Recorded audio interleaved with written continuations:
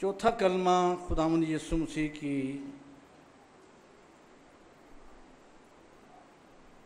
عظیم قربانی کی عکاسی ہے خاص طور پہ، اور مسیح کا مشن جو ہے وہ چوتھا کلمہ ہے۔ کلام مقدس میں ہم دیکھتے ہیں کہ پہلے تین کلمے جو ہے وہ سورج کی روشنی میں ادا کیے گئے۔ لیکن جب یہ کلمہ بیان کرنے کا وقت تھا، تو اس وقت پورے ملک میں ایک غضبناک اندھیرا، ایسا اندھیرا جس سے سارا جہان تاریکی میں ڈوب گیا۔ یہ اندھیرا فوق الفطرت، ایسا اندھیرا تھا۔ کچھ لوگ مفکرین کا خیال ہے کہ اس وقت لوگوں نے اپنے گھروں کی بتیاں بھی دن کے ٹائم جلائی تھیں۔ مسیح یسو کو لٹکے ہوئے سلیب پر تقریباً نو سے لے کر بارہ بجے تک تین گھنٹے ہو چکے تھے۔ اور جو اندھیرا ہوا ہے وہ بارہ بجے سے لے کر تقریباً سپیر یہاں سپیر کا بھی ذکر ہے۔ تین بجے تک اندھیرا رہا۔ اور اس اندھیرے میں ہی خدا یسو مسیح کی یہ آواز بلند آئی۔ اندھیرے کے بارے میں لوگوں کا بہت سے خیالات ہیں۔ کسی کا یہ خیال ہے کہ اندھیرا یا تاریکی کا چھا جانا خدا کے رنج و غم کا نشان ہے۔ خدا کے غضب کی اخاصی ہے۔ کچھ کہتے ہیں یہ اندھیرا مسیح کے دل کے دکھ کا اظہار ہے۔ اور تقریباً تین بجے سپیر جو کہ یہودی لوگوں کی قربانی کا وقت تھا۔ اس دور میں یہودی لوگ تین بجے کا ان کا وقت جو ہوتا تھا، وہ اپنی قربانیاں گزرانتے تھے۔ غالباً اسی وقت میرا اور آپ کا اور کل جہان کا مسیح بھی، جو کہ اصل قربانی ہے، خود قربان ہونے کے لیے سلیب پر اپنی جان دینے کے لیے اس نے پکارا۔ پکار کیا تھی؟ تین بجے جو بڑی پکار تھی، لکھا چلا کر پکارا، ایلی ایلی، لما شبک تنی، آئے میرے خدا، آئے میرے خدا، تو نے مجھے کیوں چھوڑ دیا؟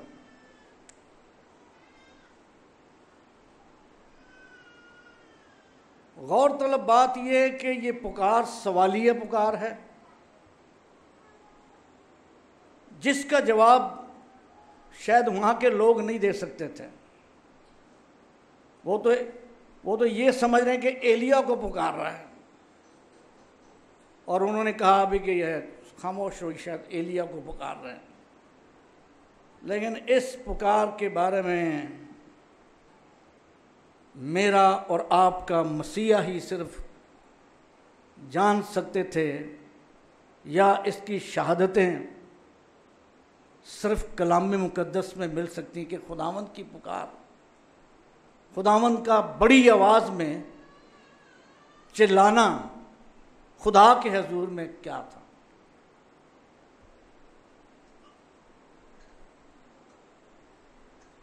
پھر دوسری بات یہاں پہ لکھا اے میرے خدا، اے میرے خدا، ایلی ایلی۔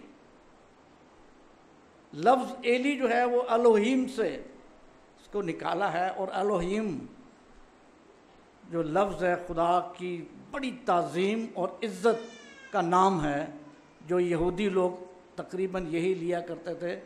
تقریباً ڈھائی ہزار مرتبہ الوہیم کا لفظ بائبل مقدس میں آیا ہے۔ اور اسی کو خداون نے ایلی ایلی لما شبک تنی دو مرتبہ پکارا دوہرایا دہرانے سے کیا مراد ہے؟ ایک مرتبہ کافی نہ تھا۔ دہرانے سے اصل میں مراد خدا کی یہ ایسی اذیت اور دل کا دکھ خداون نے پیش کیا۔ کسی چیز کو ایمفسائز کرنا، دو مرتبہ، آئے میرے خدا، آئے میرے خدا۔ اور خداون خدا کو اس طور سے پکارا۔ یہ پکار اگرچہ پیشین گوئی کے طور پر بھی زبور نمبر بائیس اس کی پہلی آیت میں اس کا اقتباس بھی ہے،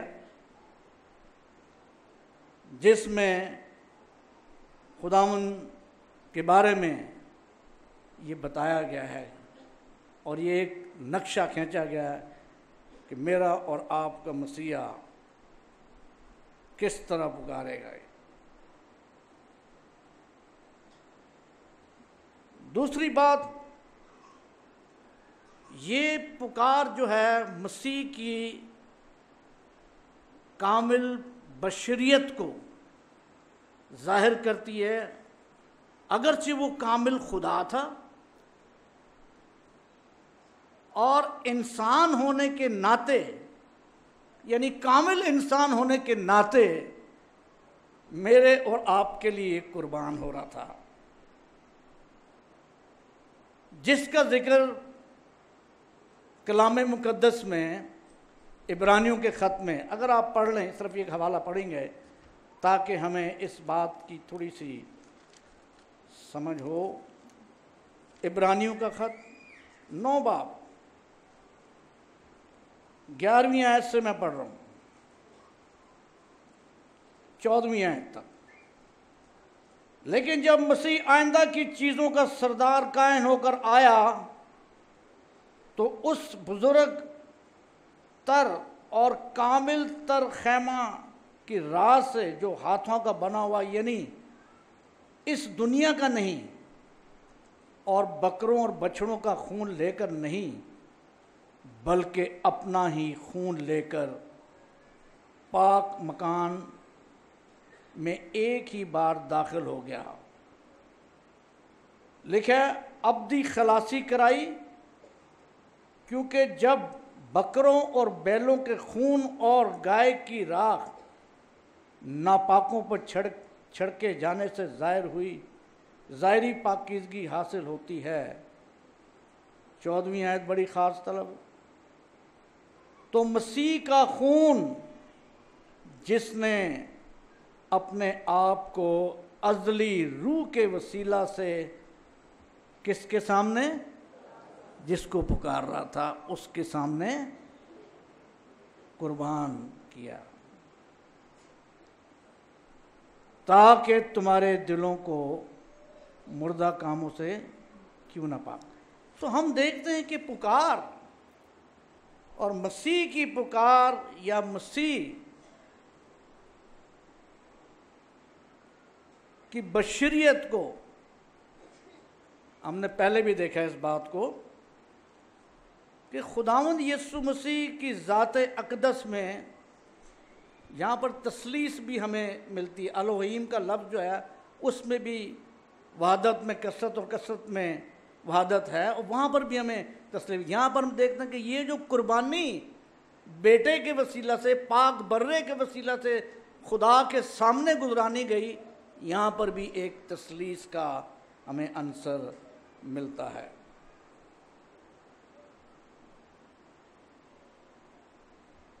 تیسری بات یہاں پر، یہاں پہلے کلمے میں ہم دیکھتے ہیں کہ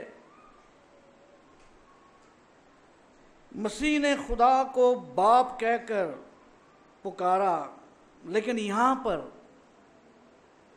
آئے میرے خدا، تو یہ بھی ایک بات ایسی ہے کہ جس میں ہم یہ اندازہ لا سکتے ہیں کہ اس وقت وہ جب وہ قربانی دے رہے تھے، اس وقت انہوں نے سارا اختیار، خدائی اختیار، سب کچھ خالی کر کے عدلی روح کے وسیلہ سے اپنے آپ کو خدا کے سامنے پیش کیا۔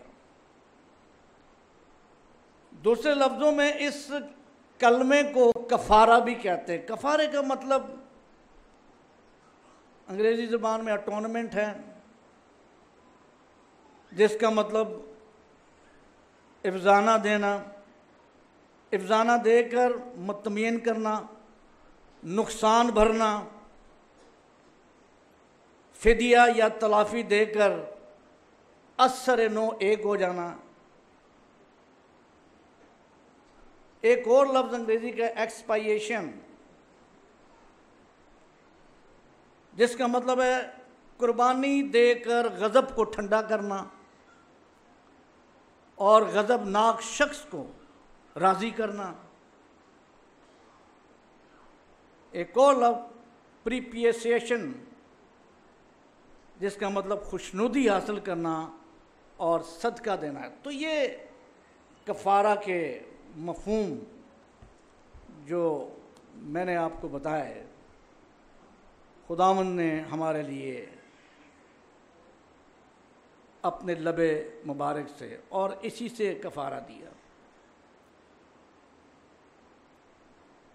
اب جو بات خداون یسو مسیح نے خدا باپ کے سامنے کری وہ یہ کہی کہ تو نے مجھے کیا لکھا ہے؟ کیوں چھوڑ دیا؟ چھوڑنے سے مراد زبور نمبر بائیس، اس کی پہلی آیت میں لکھا کہ وہ جو ہے،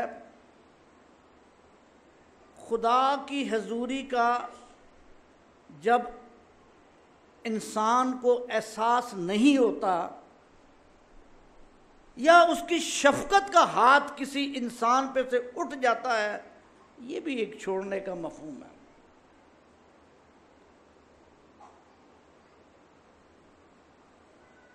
دوسری بات یہ بھی ہو سکتی ہے کہ خدا کا غضب کسی انسان پر ٹوٹ پڑنا سبب گناہ ہے یا کسی انسان پر خدا کی رحمت موقوف ہو جانا، یہ سب چھوڑنے کے زمرے میں آتے ہیں اور اسی لیے خداون نے پکارا۔ ہم دیکھتے ہیں کہ خداوند یسو مسیح نے بڑی عزیزیاں برداشت کی، سیاستیں برداشت کی، بڑے بڑے دکھ برداشت کیے، کیلوں کا ٹھکنا، پسلی پر بھالا مارا جانا، اس وقت ایسی پکار نہ ملی ہمیں سنائی دی۔ لیکن یہ بھی ایک نبوت جو یسایہ نبی کی کتاب میں لکھی ہے، ترپن باپ کی ساتویں آیت میں، وہاں لکھا ہے، اپنا منہ نہ کھولا، جس طرح برا ذبح کرنے والے لے جاتے ہیں، اور جس طرح بھیڑ اپنے بال کترنے والوں کے سامنے بے زبان، اسی طرح وہ خاموش رہا۔ خاموشی اختیار کی۔ لیکن یہ خاموشی اس وقت ٹوٹی جب خداون یسو مسیح کو باطنی سزا کا دکھ اور آسمانی باپ کے منہ پھیرنے کے سبب سے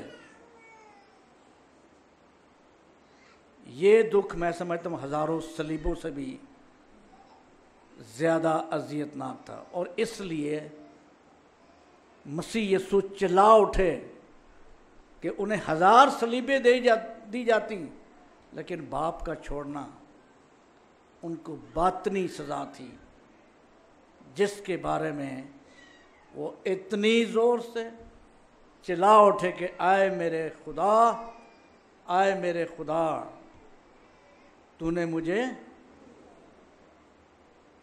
میں سمجھتا ہوں یہی ٹائم تھا کہ جب مسیح یسو پہ اس تاریکی میں ہم سب کے گناہوں، کرمزیوں، زناکاری کے بت پرستی کے اور دنیا کے ہر ایک گناہ جب اس پر لادے جا رہے تھے۔ آپ اگر یسایہ نبی کی کا صحیفہ پڑھیں، ترپن باپ وہاں لکھا ہے، ہم نے، ہم میں سے ہر ایک اپنی راہ کو پھرا۔ ترپن باپ کی چھٹی آیت میں لکھا ہے۔ پھر خداون نے ہم سب کی بد کرداری اس پر لادی۔ تو جب لادی تو اس وقت باپ کی آنکھیں بھی ان گناہوں کو نہ دیکھ سکی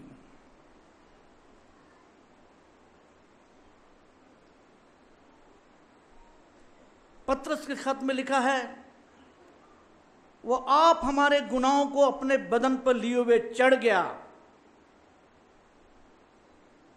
پہلا پترس، دوسرا باپ چوتھی آیت۔ دوسرا کرنتھیوں پانچ باپ اکیسویں آیت میں لکھا ہے، جو گناہ سے واقف نہ تھا، اسی کو اس نے ہمارے واسطے گناہ ٹھہرایا۔ یہ سایہ نبی کے صحیفہ ترپن باب اور اس کی بارہویں آیت میں لکھا ہے وہ خطا کاروں میں شمار کیا گیا۔ اور سبب یہی تھا کہ خدا باپ نے اپنے بیٹے سے بھی اپنا منہ پھیر لیا۔ جو جدائی میرا اور آپ کا مسیح پل بھر کی برداشت نہ کر سکا۔ کیونکہ وہ تو قدوس ہے۔ وہ تو قادر مطلق ہے۔ زبور بائیس اور اس کی تین آیت میں لکھا ہے، وہ اسرائیل کی حمد و سنا پر تخت نشی ہے فرشتگان اس کے سامنے اپنے منہ کو ڈھانپ لیتے ہیں۔ ایسا پاک، کیا وہ برائی پر، کیا وہ ان گناہوں پہ نظر کر سکتا تھا جو اس کے بیٹے یسو مسیح نے اٹھائے ہوئے تھے۔ یہی سبب تھا کہ باپ نے اپنا منہ پھیر لیا۔ حقوق نبی کے صحیفے میں بھی خدا باپ کی پاکیزی کو ظاہر کیا گیا۔ وہاں لکھا ہے کہ خدا بدی پر نظر نہیں کرتا۔ پہلا باپ اور اس کی تیرہویں آیت۔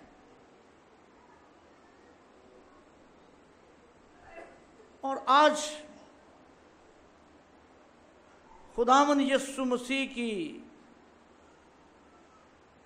یہ قربانی جو خاص طور پہ خلاصی کے طور پر عفظی کے طور پر میرے اور آپ کے لیے گزرانی ہے، مجھ سے سوال کرتی ہے۔ خدا بدل نہیں گیا۔ مسیح کی قربانی خدا کے سامنے ہے۔ آج ہم فضل کے دور میں ہیں، لیکن ہم اپنی زندگیوں پر غور کریں۔ جب خدا نے ان برائیوں اور ان غلطیوں، ان زناکاریوں جو بے عیب برا جس نے علانیہ یوہنا کی انجیل آٹھ باپ میں کہا، تم میں کون ہے؟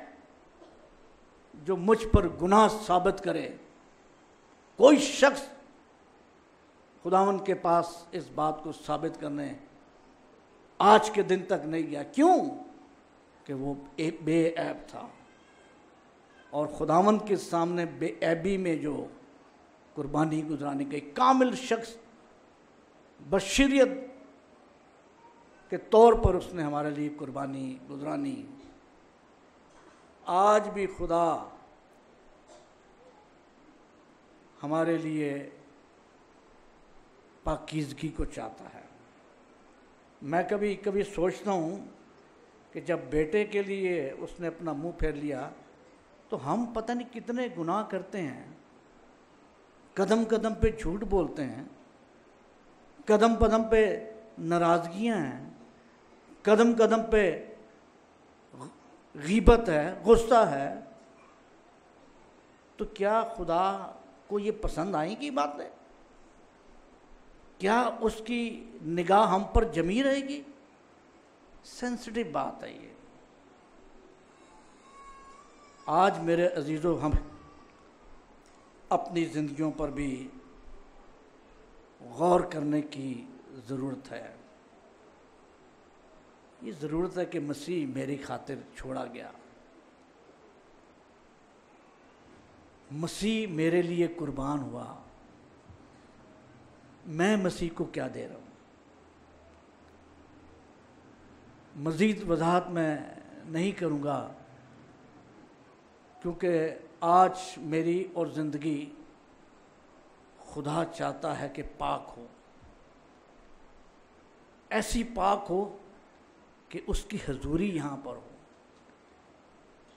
ایسی پاک ہو جس طرح وہ بنی اسرائیل کی حمد و ستائش پہ تخت نشی ہوتا تھا، میری زندگی میں، میرے گھر میں، گھرانوں میں اس کی اس کی پریزنس ہو، اس کی حضوری ہو۔ خدا گندگی کو نہیں پسند کرتا۔ خدا گناہ سے کرائیت کرتا ہے۔ میں موسا کے بارے میں دیکھتا ہوں، جھاڑی جل رہی ہے۔ تو موسا کو کہا موسا جوتی اپنی باہر اتار دے۔ پھر آنا۔ جوتی بھی باہر اتار کے آنی، اپنا سب کچھ۔ آئیے اپنے سروں کو جھکائیں۔ اور آج خداوند کے حضور میں اقرار کیجیے میرا اور آپ کا کفارہ ہوا ہے، مسیح نے میرے اور آپ کے گناہ اپنے اوپر اٹھائے اور اتنی بڑی قیمت چکائی۔ ہم کیا کر رہے ہیں؟ ہیللویا سب دعا کریں۔ Praise, thank you Jesus. خدا من کے حضور میں دعا کیجیے۔ اپنے لیے زور مانگیے خداون سے کہیے کہ مجھے خداون بچا، گناہوں سے پاک کر۔ گرچہ میرے اور ہم سب کے گناہ میرے اور آپ کے یسو مسیح نے سمندر کی تہ میں ڈال دی ہے۔ وہ ساری فرست جو ہمارے نام پر تھی، اس کو مٹا دیا ہے اور ہمیں مفت میں راستواس ٹھہرا دیا ہے۔ میرا عفظی ہو گیا ہے۔ میری موت اس نے سہ لی ہے۔ میری سزا اس نے سہی ہے۔ شکر گزاری کریے اور خداون سے قوت مانگیے۔ خداون بزرگ آسمانی باپ، ہم دل سے تیرا شکر بجا لاتے ہیں۔ میرے پیارے منجی خداون یسو مسیح کی قربانی سے، یسو مسیح کے نام سے مانگتے ہیں۔